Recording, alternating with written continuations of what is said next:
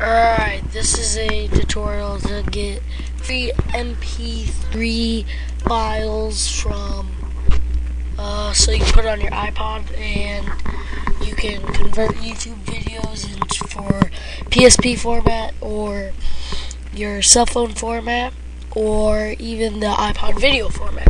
So the link for this program will be in the description of the video.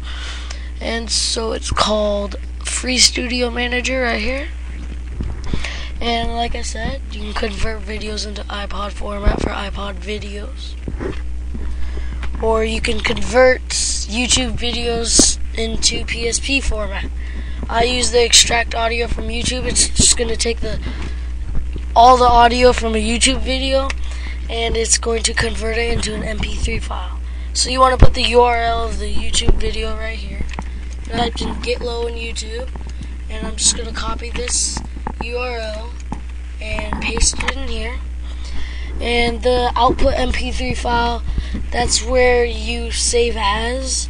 So I'm going to call this get low, even though I already have it in here. I want to show you guys. Save it in here, replace it.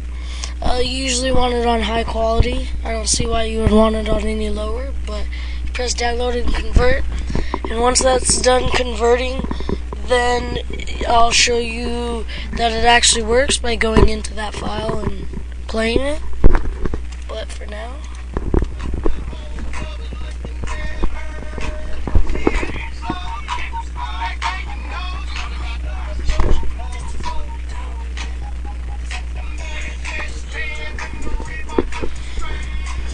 Usually it doesn't take too long to download. Come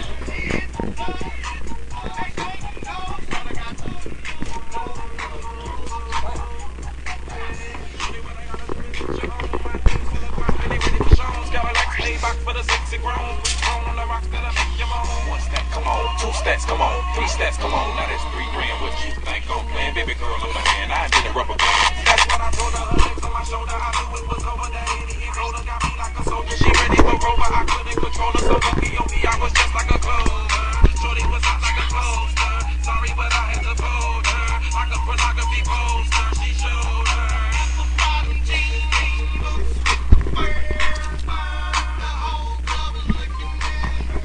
Alright, so it is done now. Process is completed. Press OK, you can exit out of that. And then you want to open my music or wherever you saved it into, and I got in YouTube files. These are all the songs I've gotten from YouTube videos. And so I'm going to find Get Low right here. I'm going to double click on it. And it's going to open your default music player, which for me is uh, iTunes. So it's going to open iTunes, and I'll show you that it works. And as you can hear, it does work. so that's pretty much it. Uh, this is mainly for all those people who don't feel like paying for something stupid like one dollar per song, which is really stupid, like iTunes provides.